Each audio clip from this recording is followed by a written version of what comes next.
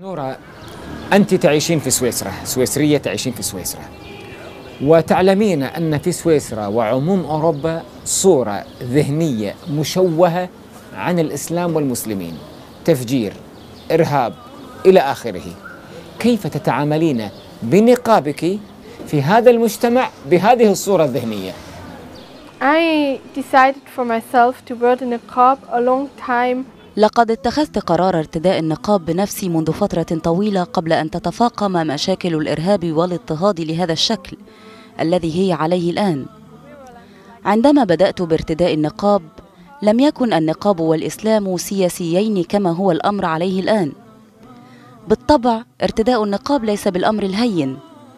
دائما في سويسرا علي أن أتعامل مع العديد من العقبات. فمثلا لا أستطيع العمل.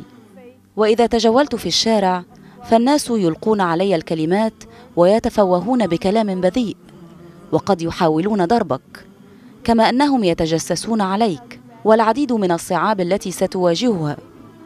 ولكن ما يعينك على التعامل مع هذا الأمر هو عندما توقن لماذا أنت تفعل هذا الأمر.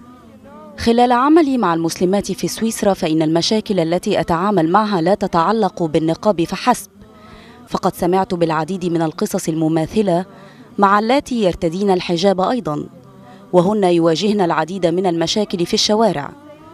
فالناس يحاولون خلع حجابهن بالقوة ولا يسمح لهن بارتدائه في المدارس. لدينا العديد من العقبات المماثلة وعموما هي ليست مشكلة تواجه النقاب فحسب بل مشكلة يواجهها الإسلام بشكل عام. فالإسلام فوبيا بات ينتشر بين الناس الذين يخشون الإسلام ربما. قبل أن أتوجه إلى الإعلام وأتكلم عن الإسلام في التلفاز والصحافة لم يكن هناك خيار بأن يكون هناك حوار بين نساء يرتدين النقاب وبين المجتمع.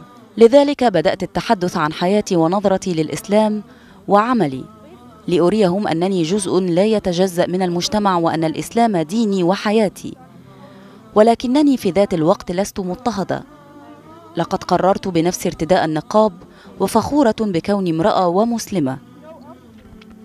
من المهم بمكان التعاون من أجل الإسلام والتكلم معهم وأرى الناس في سويسرا وبقية أرجاء أوروبا التي تتحدث الألمانية أن النساء المسلمات لسن مضطهدات وأنهن اخترن النقاب بأنفسهن وخطوة بخطوة نستطيع فعل الشيء ذاته مع موضوع الحجاب ونريهم أننا مسلمات ولكننا لسنا قابعات في المنازل أو جالسات خلف الستارة ننتظر قدوم أزواجنا.